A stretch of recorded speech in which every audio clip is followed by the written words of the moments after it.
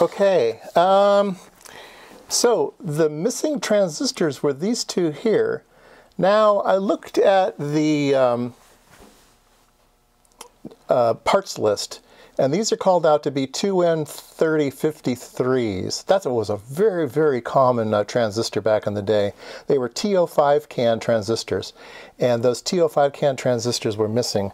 Now, I looked in my bin. I would have thought that I would have, I would have had a big store of uh, of 3053s because they were so common, but I just don't have any. And the local store doesn't have any either, which really shocks me as well. They, I figured they would have a big pile of them.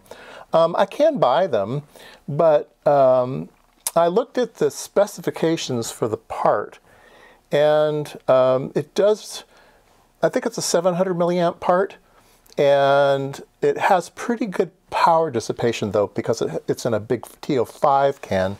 Um, so I looked at the, uh, uh, where they're being used, and is that camera's going to be washed out here, isn't it? Let me change this. Oops. There we go.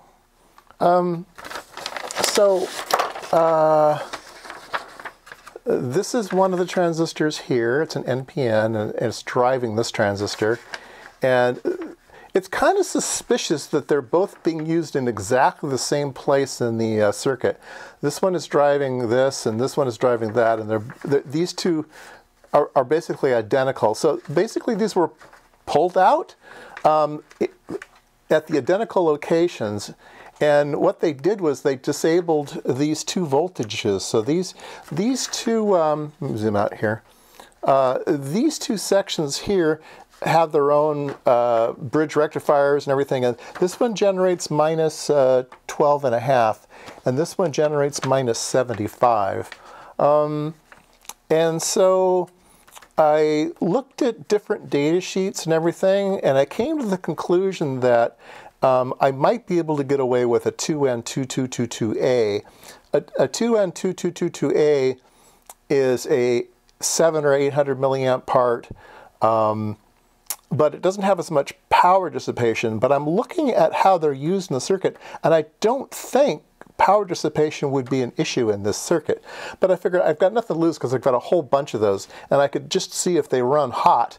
I'll go ahead and order some, some other ones, um, the official ones, but uh, I thought I'd give it a go.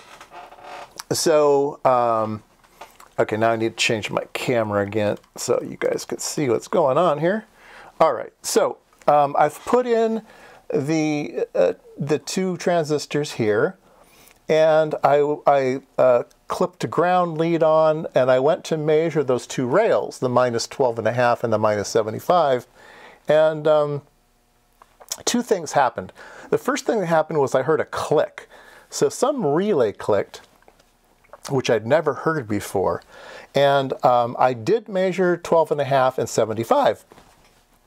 And I thought, wow, uh, you know, maybe, maybe it's doing something now, okay? So, uh, let me, let me rearrange things. Uh, so here's the power switch. And uh, I turned the power switch on. I hear, did you hear the click? I don't know if my, uh, if my microphone uh, picked that up or not. Um, and I went to measure some voltages. And then, now it's not going to do it. Uh, so this light came on and, oh, oh, do you see it? Uh, let's see here, horizontal position. Yeah, there we go. wow! I'm getting a, am uh, getting a uh, spot on the, on the uh, screen. What do you say? I never expected the CRT to be good and I never expected the high voltage section to be good. I figured those were the two things that were not going to be repairable on this, on this machine. And I'm getting a trace, which means I should be able to fix this thing. Um, so maybe we should put a transistor in it and give it a try. I'm super, super excited. Um, let's see here. We've got, uh, we can pull this one out. We'll use this one. Um, danger, danger. Okay, a step generator, uh, left side, that'll be here. And we have voltage here. So we'll put it up here, say at 20 volts. Um, and max voltage here. This switch doesn't quite work. Kind of, I'll just, yeah, this this this switch isn't isn't working right. So, yeah, let me get a transistor. All right. Well, um, I can't get it to display a curve yet, but it does do some things that are encouraging. One is that if I turn up the collector voltage, I have a an LED in here now, um, and if I turn up the uh, uh, I don't know if the camera picks that up, but this lights up. I can light up the LED. Okay, so the LED is the LED is getting bright as I increase the uh, current or the uh, voltage over here.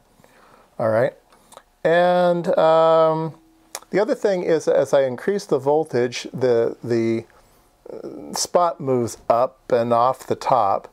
Um, I haven't been able to figure out how to do ranging of this thing to make everything stay stay in the middle. Um, I can move things up and down. Um, so I can move, move that up and down. I can move this side to side.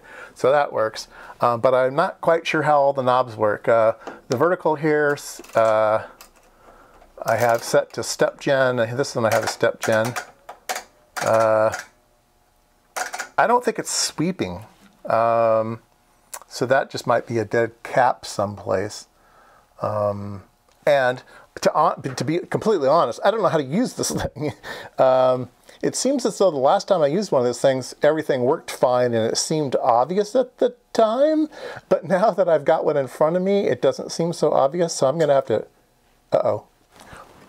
Oh, I have timed out. It's okay. My uh, I had this on a 30 minute timer just in case. Um, so I think this thing is going to work someday. Um, I need to fi fix this. Uh, it's falling inside. Um, I need to open that up and somehow the plastic rod, there's a, a, bezel cap that held this in place and that, that just rotted off. So I need to hold that in somehow. Um, and then I need to figure out how all the buttons work. But uh, yeah, I think, uh, I think this thing might come to life someday. I'm very encouraged.